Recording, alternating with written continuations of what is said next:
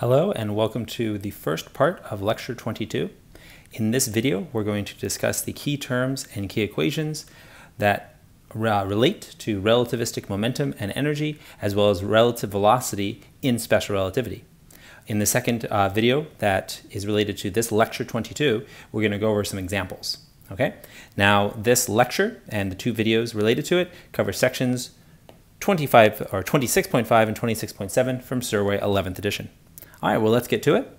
So our objectives include learning how the velocity of an object depends on the frame of reference from which it is observed.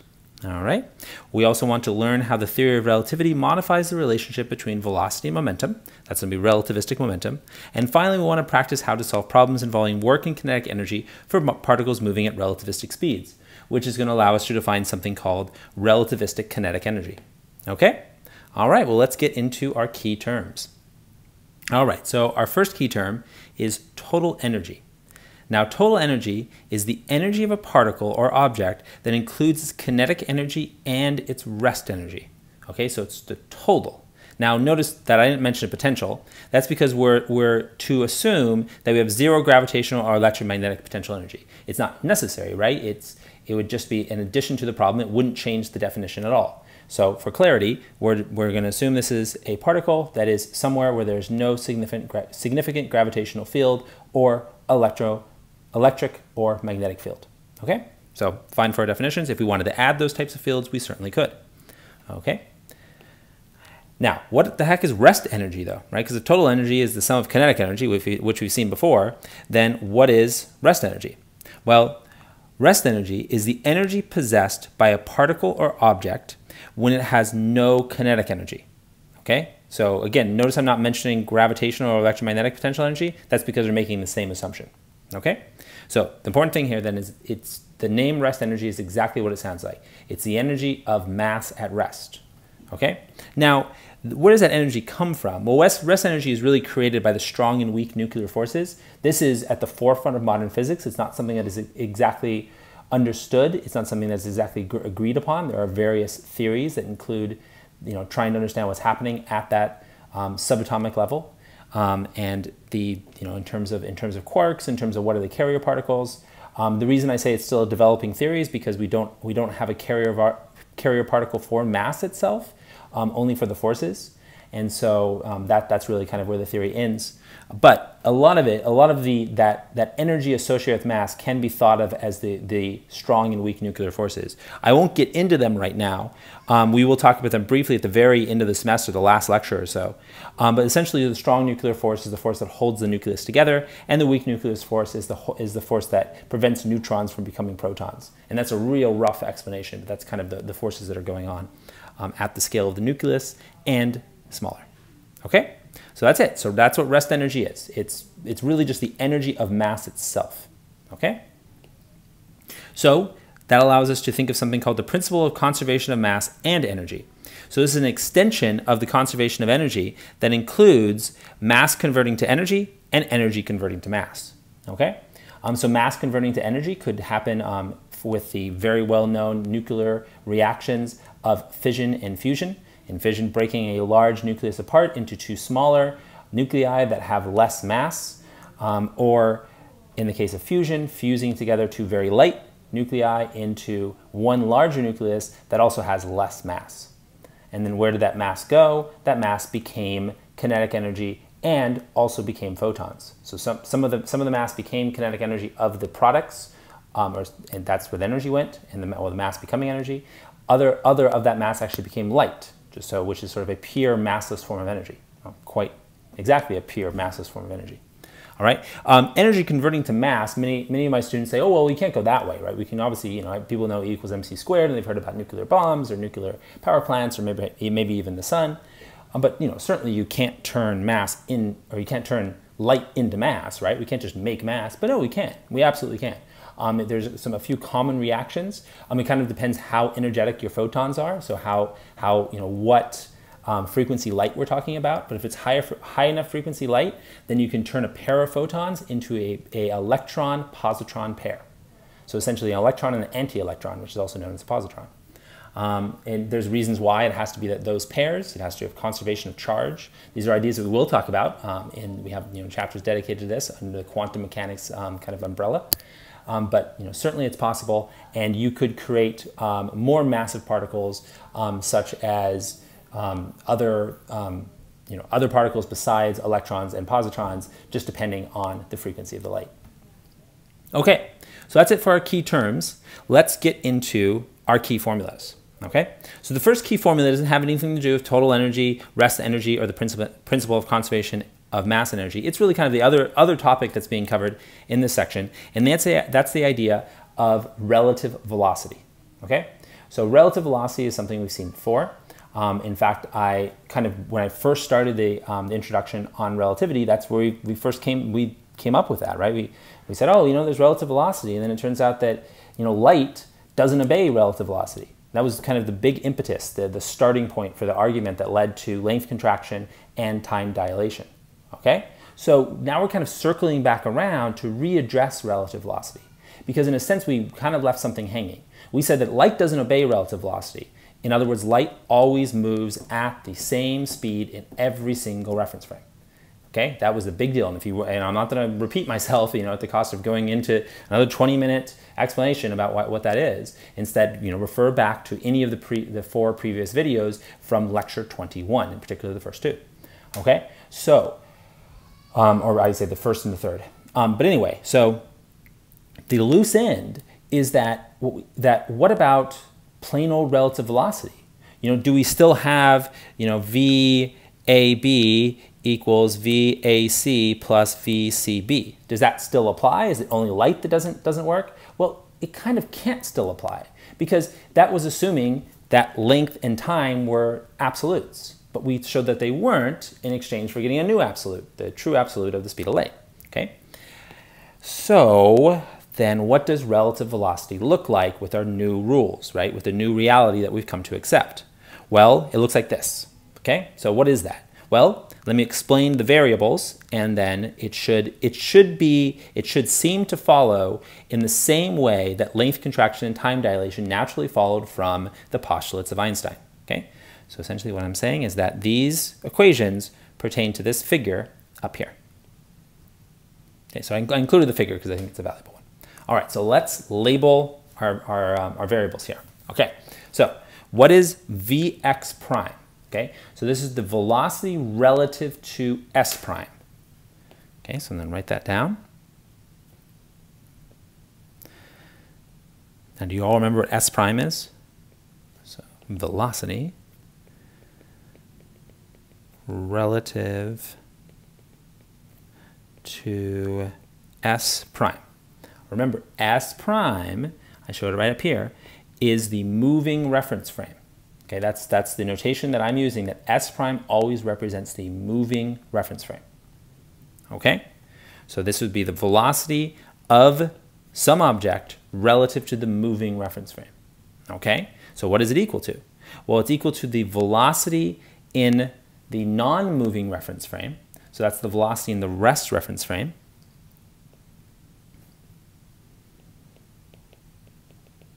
So velocity in rest reference frame. Okay, so that would be in reference frame S, this one right here, the one that is not moving, okay, minus u. Well, remember u is? u is the velocity of S prime. It's the velocity of the moving reference frame.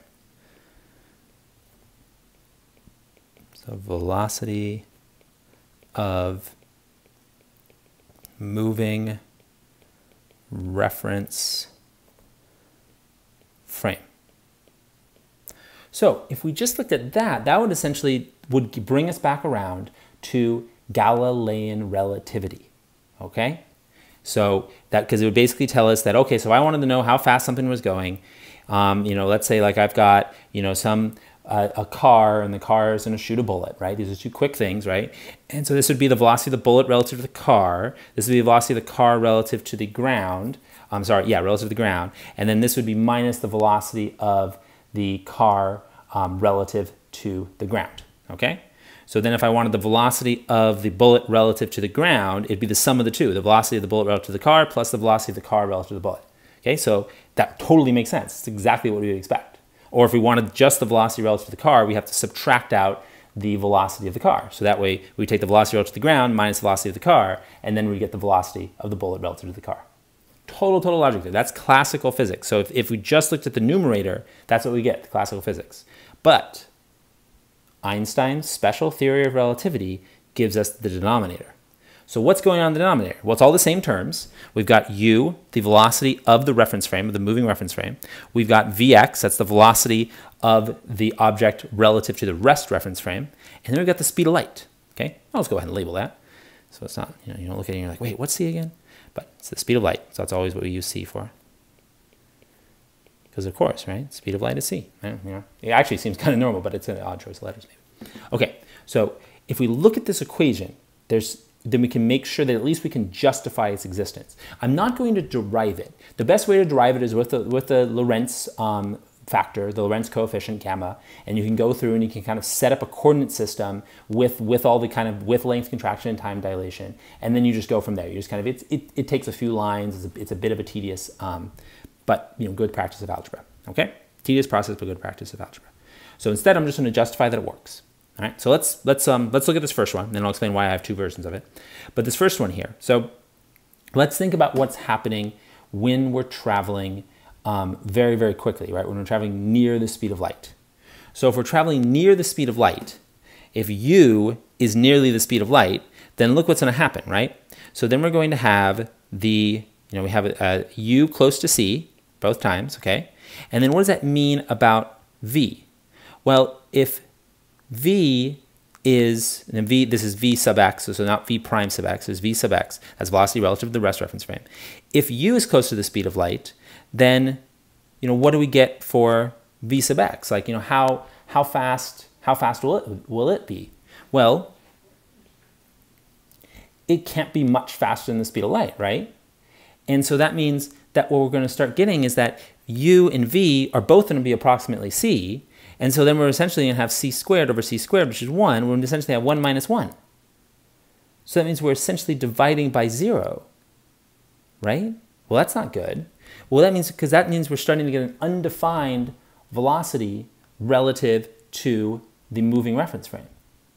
So in other words, if, if I set it at c, then I'm not, I'm not going to get a velocity that works here, right? It, it can't be that fast, and it certainly can't be faster, okay? And now let me look at the other one, the second version. Because here it's, it's just, we've just moved our terms around and now we've set it up to solve for the velocity relative to the rest reference frame. And this might be the more common one because this would be the, the rocket shooting the, um, you know, shooting the, uh, or spaceship shooting a rocket. Okay, so the spaceship shoots a rocket, then your spaceship is u, and then your rocket is vx prime, and then how fast that rocket is moving relative to Earth would be vx, because Earth's a rest reference frame of s. The rocket is s prime moving at velocity u relative to Earth. So now let's think about what happens then. If we shoot the, the rocket very close to the speed of light, then we're going to have a vx prime that's close to c. Okay? Now, if the spaceship was also moving very close to the speed of light, then that means that u is also almost c. So then what we would get is we'd have c plus c up here, Okay, so c plus c, because these are both almost moving at the speed of light. And then we'd be dividing by 1 plus approximately c squared over c squared. Okay, so that's essentially just going to give us 2c divided by 2, which will just give us c. So we see then what happens is that we never exceed the speed of light.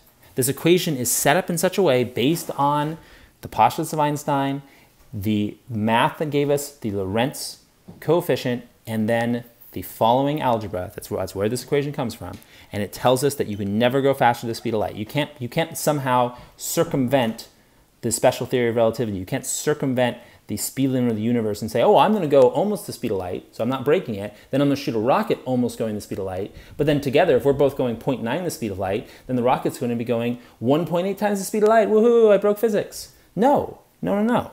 Because the equation clearly shows you that that doesn't happen you would just get back to C. Okay, it, the equation approaches C. Okay, all right, so we're going to put that to use in some examples in the second video. But for now, let's get back to the equations that relate mass and energy. Okay, so that's really going to kind of be the, the rest of this, um, this, this video and uh, also quite a few of the examples. All right, so next equation down the list is something called relativistic momentum. Okay, now relativistic momentum is coming right out of basically, it, you could really, one way that it's sometimes derived, because you look here, is that, you know, I'm saying that P equals mv, this would be classical momentum right there, right? Momentum P, translational momentum that is, we won't, talk about relativistic angular momentum, but so we have relativistic translational momentum equal to mv. That, that's what classical physics, that's what Newton tells us. Okay, so we've used that quite a bit, so it should be a familiar formula.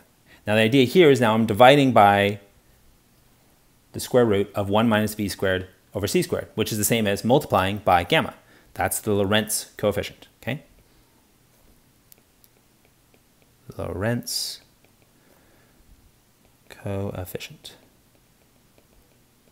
Okay, just as a reminder, gamma equals, and then I'll finish my thought about it. Sometimes, sometimes the way people will justify it, although we will um, shy away from that.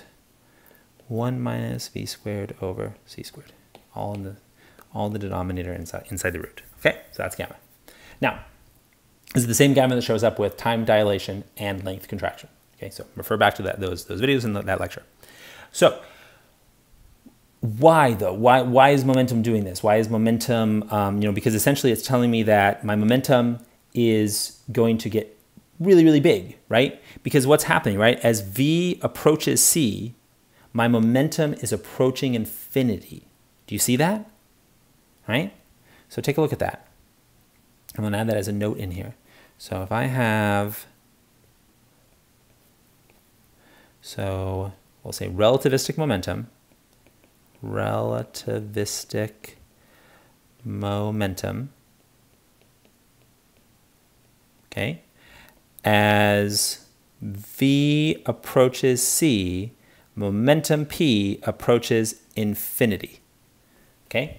So why is that? Well, because if we have this, if c squared over c squared, if v becomes c exactly, then I would have 1 minus 1, and so then I'd be dividing by the square root of 0, and that's undefined, but what if I was what if v was slightly less than z? Then I'd be dividing by the square root of a really small number, which would be an even smaller number.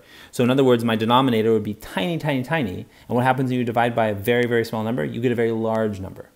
So it's telling us that that with relativity, momentum doesn't just go up linearly, but starts to go up quite non-linearly, asymptotically, you know, approaching infinity, right? So it never it it's you can never you you can never reach the speed of light. So if you're if you were looking if you're looking if you had a graph of momentum um, versus velocity, you would see it just go up, and it would have it would have a vertical asymptote at the speed of light on the horizontal axis of v. So that is telling us that you can never take something with mass to the speed of light. Because if it takes an if, if it requires or if that object with mass would have an infinite momentum when it reached the speed of light, then how could that ever happen? What amount of energy would it take to accelerate something until it reaches a velocity that gives it an infinite momentum? Well, that would require an infinite amount of energy. But I'll show that more in a more compelling way in just a second when I show you the energy equation. So, so we'll circle back to that. But my original point, which kind of got lost in the lost in the way as I, as I was making other points, is that sometimes the way that people derive relativistic momentum is they'll say that there's this term relativistic mass. And so they'll say that this, this term, let me try to circle more clearly. So this term with the m times gamma, so just gamma m, is relativistic mass. So it's saying that objects effectively get more massive the faster they move, which is a good kind of rule of thumb because it explains a lot, but it's actually fundamentally misleading when we think about some things about the directionality of, of um, objects and the way their acceleration vector points relative to the force vector that accelerated them. And so that, that's, where, that's where relativistic mass just simply gives you the wrong idea. It can be misleading. Um, so it's it's it, there's a lot of there's a lot of kind of pushback, um, and it's kind of become a more antiquated version of, of how to present this material. Okay, so I would say don't don't find yourself really kind of maybe taking solace in the idea of relativ relativistic mass and just move on. Okay, so All right, in that train of thought, I'll just move on to the next term, which is relativistic kinetic energy. Okay, so over here I, I labeled relativistic momentum. That's obviously referring to P, but I'm going to add a, a label to the next line, which is relativistic kinetic energy. So let's do that. So relativistic kinetic energy. Okay, and here I'm just going to give you the expression. Now, this this there's a there's a calculus derivation. It's really easy. Essentially, you can say that um, that you have the in the relationship between momentum and and velocity, and then the and the way you get to kinetic energy um, with work. Then you can um, and you basically use the work kinetic energy theorem, and you can then get um, relativistic kinetic energy. Okay, but I'm just to again just kind of going to hand it to you and show you this is the expression. Now the thing about relativistic kinetic energy is because the way we got there, um, the way it's derived, it ends up having two terms, which is a little jarring because you might be like, well, that's darn right strange. Why does that have to have two terms? You know what? And it's it's also the way that is. There's other ways to express things, but this is kind of the, the best way to, to express relativistic kinetic energy. So again, let's justify why the equation works and kind of show its limits as v approaches c. Okay, so here's the whole expression for relativistic kinetic energy. It's mc, so mass times the speed of light, all over, you know, the square root of 1 minus v squared over c squared, which is essentially just, again, multiplying by gamma. And then minus mc squared, okay? So what's, what's the, why is that? So that's because we're subtracting the rest energy, okay? So then you can think of the kinetic energy as this, this term, which is, I guess, kinetic energy plus, and then minus the rest energy. So I'll just explicitly label that this right here is rest energy. MC squared is rest energy. And a lot of people have seen that, you know, the famous E equals MC squared, which you're probably starting to get the hint that's only part of the picture. So then we have here, this is rest energy. Okay, so then when you you know, realize that, oh, okay, well then I have a gamma, because that's what the 1 over the square root of 1 minus v squared over c squared, that's just gamma. And then, well, mc squared is just mc squared. So you can factor out the, the, the like term of mc. Oh, and I have the typo. I thought I'd fix that here. This should be mc squared. Absolutely. It's not mc. It's mc squared. So please, please excuse that. It's a really, really egregious typo. Okay, so it should be mc squared. Okay, so you can factor out that like term of mc squared from both, both expressions, and there you go. You've got your relativistic kinetic energy. All right? So what does this tell you again, right? How does this what does what is the kinetic energy approach as you know as v approaches c ah same thing okay so point out here as v approaches c relativistic kinetic energy k approaches infinity right? Because look at it, it would be the same thing, right? This term here would grow infinitely large. Sure, you'd be subtracting another term, but another term that's independent of v, so it wouldn't, it would, you know, it wouldn't matter after a while if you're subtracting it because it just become, you know, insubstantial compared to the sheer uncontrolled growing of the first term. And so that means that k does approach infinity. So then this is a really clear-cut clear -cut way of saying that particles or objects with mass, okay, expressed by m, measured in kilograms, can never reach the speed of light because it would take an infinite amount of energy or work for them to do it, right? Because to achieve a kinetic energy that is infinite, it would take infinite work to do it. Well, you clearly can't apply an infinite amount of work on something because there's no such thing, okay? So then we have the quite important consequence that, so this tells us particles or objects with mass can never reach the speed of light.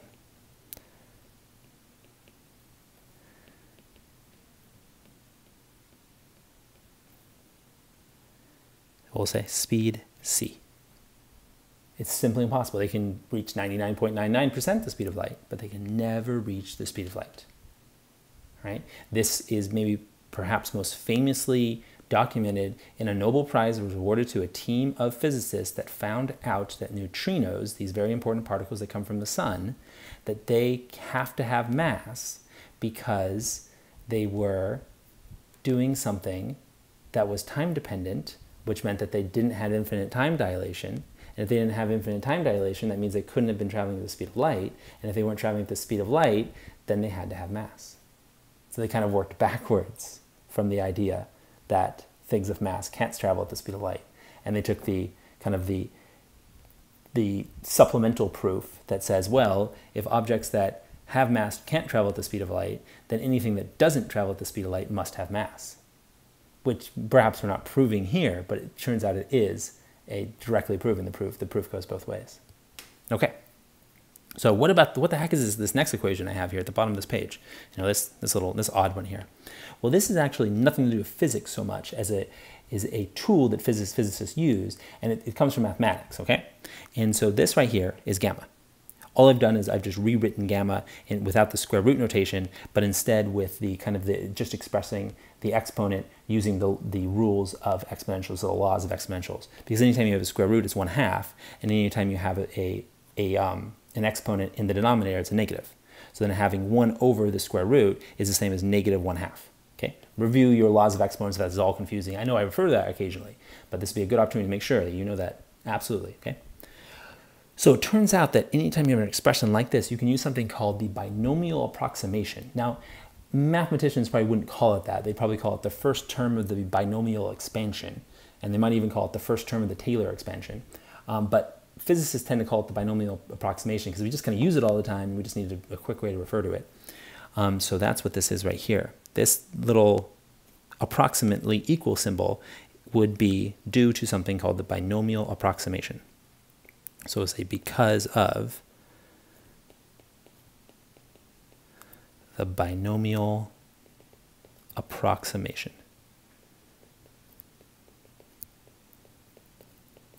approximation. Okay? So where does it come from? You know, what are the rules of it? Well, this is the only time we're going to use it, but essentially what you can then say is that you can you can take you can pull the exponent down and multiply it. So it ends up being you would have 1 plus and then the whatever your exponent is times the second term. And in this case, the second term is negative v squared over c squared. So if I'm multiplying the exponent of negative 1 half, the negative times the negative becomes a positive. And so that, that becomes my, my approximation. Okay. Um, now that's a really useful approximation because it allows us to talk about how to go from relativistic kinetic energy to non-relativistic kinetic energy. So I have, have a, particular example where I'm going to use it, but it, it can come up quite a bit. Um, it can come up for other other times you're even using relativity and you just need to maybe find out a small effect of relativity that would normally show up as zero. The binomial approximation can show you that it in fact is not zero, not zero. So it's kind of a window into something that would other, otherwise get lost. Okay? So I got a couple more for you. Okay, so the last, last two equations and the end of this video. So what's going on here? Okay, well, this is total energy. It's the first term. Okay, so, and that's always what we've used. We've always use E for total energy. Um, we've also used it for electric field, but hopefully the context is clear. So total energy. And the total energy is kinetic energy plus rest energy. Okay, well remember kinetic energy was gamma minus 1 times mc squared, and rest energy is just mc squared. So that means that total energy ends up just being gamma mc squared. I know it's kind of weird, right? Because it's like because the kinetic energy had a negative rest energy, and then we're adding rest energy, so we're just effectively canceling it out. So when we get total energy, we, we see that total energy is actually just the first term of the two terms that represented kinetic energy. And again, not deriving these is, is particularly unnerving, but it's, it's saying that the total energy is going to be, well, I mean, what's, what's the best way to think about this? Because it's, it's going to be larger, right? It's always just going to be, it's going to be, it's just this first term, okay? Because we didn't, we don't have to counteract the effect of rest energy, okay? So hopefully, you know, that you can kind of quickly see where that comes from, all right? So that's the total energy. Now this next one though isn't so obvious, right? Now, I want to show where it comes from. So I'm going to show where how we can combine, and I'll label these, equations 1 and 2 in order to get this equation 3. So we'll call this one 2, and we'll call this equation 3, and then equation 1 is going to be our relativistic momentum. So 1, okay? So I'm going to show over here, so say note, equations 1, so relative momentum plus total energy gives us expression 3. Okay? And all it is, all expression 3 is, is just total energy squared. But it turns out that by squaring it, we can really clearly show something that otherwise would really get kind of lost in the algebra and the math. Okay? So I'm going to actually show this one. So let's walk through it.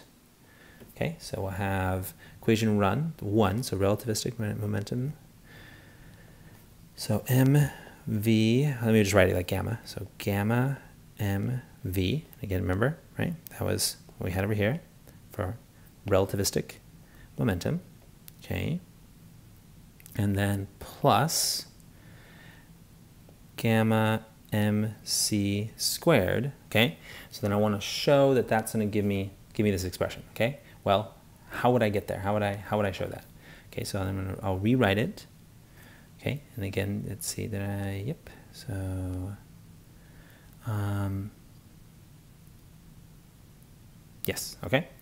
So then I want to square both sides. Okay, so because I'm trying. Let me. Um, okay, so because ultimately I do want to get e squared, and so that's going to be this term here. So if I, because I'm not, it's not so much they're exactly. Let's see. Let me erase this. So me, I'll you'll see why in a second. So let me just work this out. Okay. So we got gamma mv um, plus gamma mc squared. Okay. So let's actually just square this side here, this side. So I'm going to do E um, squared is going to then be gamma squared mc squared squared. Okay, so that's that looks good. Okay, and then I want to rewrite the gamma expression because if you look here, you know that's that's what we got so far. But then I want to I want to deal with the with gamma. So let's think. How do I want to do that? Um, because I need to show, because we have that P is M, or is gamma MV. Okay, and we also have, so I think I want to use this side of it. So here, let's go back to this. So I'm going to do, write it like this. So I'll have K squared plus MC squared squared. Then I'll do, I'll like kind of expand that out. Okay, so then I'm going to have k to the fourth plus m c squared squared, and now the, now the middle terms. So 2k squared mc squared, okay? So then I want to show that the k to the fourth plus the 2k squared mc squared, that that's, that's what's going to become pc squared. Okay, so let's see if we can work that out. So I'll pull the middle term to the front because we want that to stick around. Okay, we'll move this up here. And I'm going to change my wording a bit up here because I still want to say, so one, was, so we'll say combining one and two gives us 3. And I may not show every step here, I just want to at least set us up for a justification. So then we'll get to here, and I'm going to have my k, so I'm gonna, let's go ahead and fact, factor out a k squared. So that will give me k squared plus 2mc squared. Okay? And so then I want to show, basically I want to show that this expression here is going to be just pc squared, pc quant quant quantity squared. And I'm going to skip to it because I don't want anyone to you know, go through every single step. Um, so let me do that. So we'll just say, you know, I'm sort of skipping ahead, but at the end, at least you can kind of see what I was getting at, that then this just becomes that, okay? So there's, there's, there's no secret missing formula. You can show algebraically that combining equations 1 and 2, you get equation 3. Okay? Now, the only thing I want to say about equation 3 is, um, is that what, um, what equation 3 tells us in particular, what it really, really clarifies, is that it, it gives us a way of thinking about the momentum of light. Because it turns out that if we look at this equation, we can show then that when m is 0, then the momentum of light is just e squared over c squared. Okay? So let's show the big consequence. Because we kind of saw this, right? Now, we, we kind of had a bit of a teaser early, early on, and I put this on the midterm, we talked about light and we mentioned that it was a photon. We talked about solar sails, right? We kind of, there's a little kind of section of one of your chapters where we start touching on some of the things that now we're going to get into a bit more. So I want us to further justify that so then we continue to see material in the next chapter, it will continue to make sense. Okay, so we'll say then that this equation shows that photons, those are particles of light, so photons with m equals zero kilograms, because they're massless, still have momentum. Have p, they still have momentum. Okay, not power, but lowercase p. And specifically, what would they what would that look like? Well, that would tell us that the momentum of a photon, so p of a photon, would be well, let's think about it. I, you know, I have, it would just be, because this, this term would be gone, right? Because m equals zero means the first term is gone. So then I have e squared equals p, pc squared, take the square root of both sides.